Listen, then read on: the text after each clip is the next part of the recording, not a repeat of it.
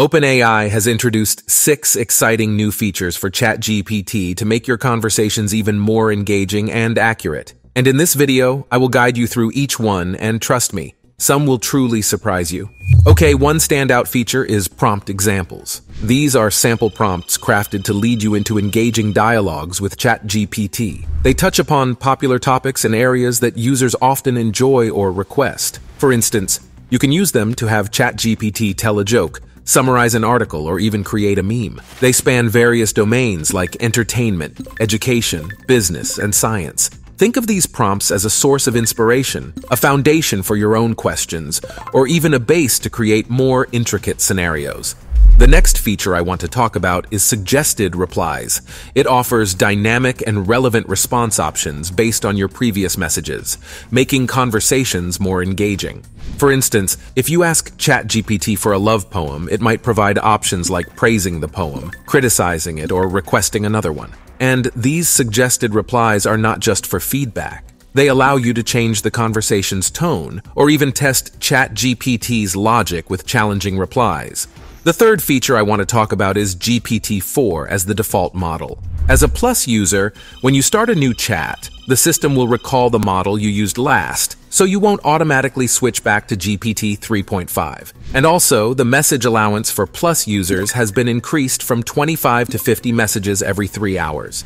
Next up, we have some updates about the code interpreter. While this isn't a fresh feature, it has recently been boosted with some noteworthy enhancements. One major update is the ability to upload up to 10 files to ChatGPT. So, if you have data or documents like a CSV file from an SEO tool, you can upload it to ChatGPT. Then, you can instruct it to sort, filter, visualize, or even generate summaries based on that data. It's a handy tool for tasks like marketing analysis and data processing, and it can also be a way to learn or refine coding skills by seeking assistance or feedback from ChatGPT.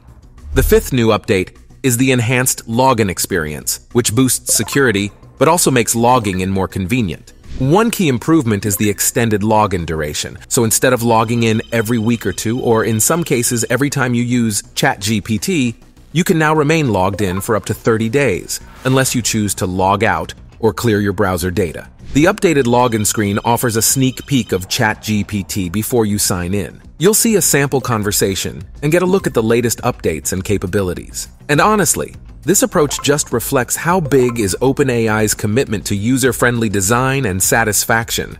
The last feature I want to discuss is ChatGPT keyboard shortcuts, allowing you to quickly perform common actions using only your keyboard.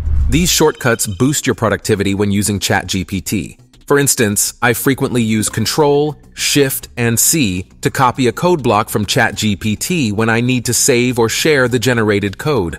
Another one I often use is Control and Slash, which brings up the list of shortcuts during a conversation, helping me to check or adjust the ones I've set.